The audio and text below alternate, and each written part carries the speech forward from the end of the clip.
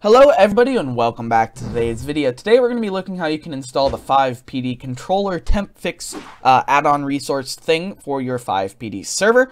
Um, I wanted to do a tutorial on this because I use it myself and I find it very helpful, so I wanted to just teach you how to install this. So all you have to do is come to the GTA Police Mods website, go to the FivePD con temp controller temp fix page, which will also be linked in the top of the description.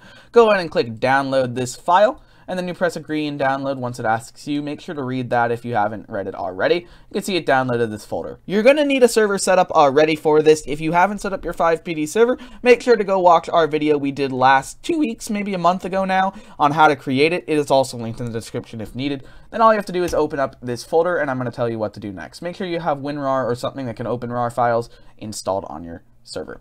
Alright, so we're going to go ahead and move this off the screen here, and you can see it comes with a few things. You got example images, you don't really need that. You have the controls.lua and the readme.txt. You can open the readme.txt to learn how to install this if you haven't known already. So pretty much all you have to do is extract it into your main folder, add it to your thing, to the client scripts bracket, but we're going to go over this, so you don't actually need to know this. So what you want to take is actually this control.lua file, and you're going to go into your server data folder, which is located in your main FiveM server folder, wherever you set that up in our last types of tutorial videos go to your resources folder, and then inside your resources folder, you want to find FivePD. Go into here and drag in the controls.lua file into your FivePDs folder, just so it's like this. Then go into the underscore underscore resource.lua file, go ahead and edit it with Notepad or Notepad++. Plus I happen to use Notepad++ Plus because I find it a lot easier to use, and I do recommend looking into that.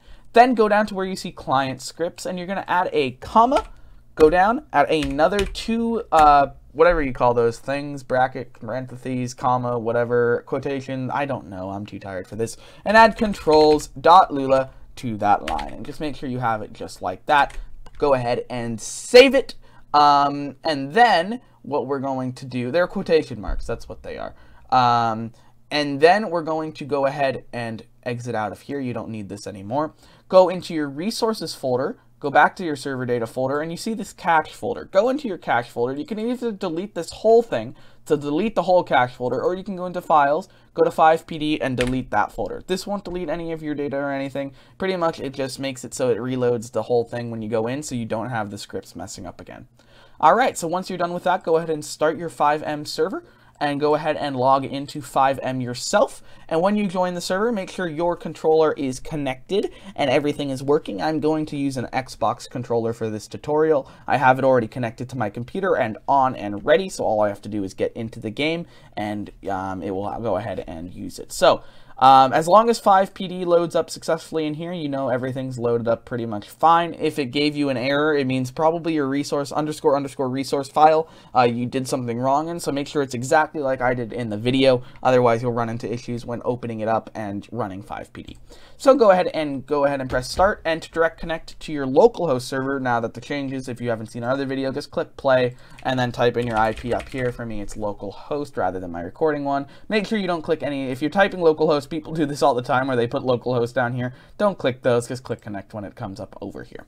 Alright, so we're going to go ahead and join into our localhost server here. You see FivePD's loading, and we'll see if our controller fix works. So pretty much how controller fix works is when you are running around on your server, if you click any of the buttons by default without this add-on in, it will open up the menus when you're clicking on your controllers. So what this does is it makes it so your controller uh, doesn't have the key bindings for FiveM or FivePD, and rather, it only works if you're touching the keyboard. So your FivePD stuff will still work if you're on the keyboard, but will not work if you're running around with a controller. Um, so you can switch between the two, and that's what a lot of people do. They use a controller for driving, and then they switch to the keyboard when doing interactions with PEDs for FivePD. So that's a pretty cool thing to add. Uh, so hopefully this loads in pretty fast, so we can go ahead and um, show it off because it takes a little while to get in, especially if you delete any of the cache folder. It's going to take a longer time to get into your server just because um, it's reloading all the files and recreating the cache for that. So, um, yes, that's pretty much how it works. Anyway, we are now in. Hopefully it loads pretty quickly. Come on, FiveM, you can do it. Awaiting scripts. Come on, you can do it.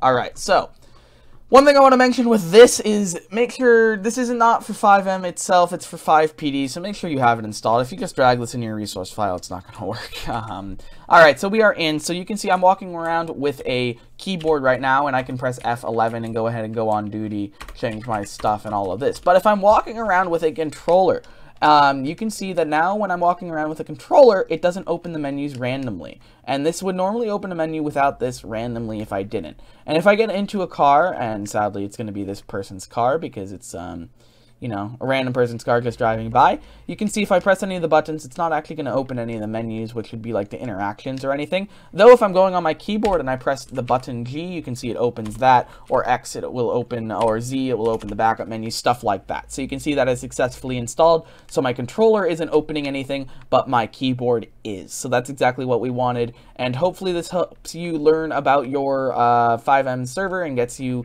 working well with your controllers and everything because I know it's a high requested feature that controllers are supported. While they're not supported yet inside of FivePD, this does make it so you can still use them without causing a bunch of issues. So thank you to the user who created this on the forums. Very appreciated because I use it myself and I find it very, very interesting to use and stuff.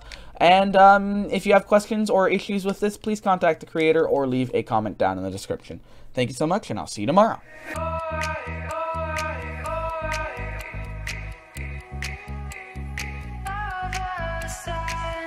Oh,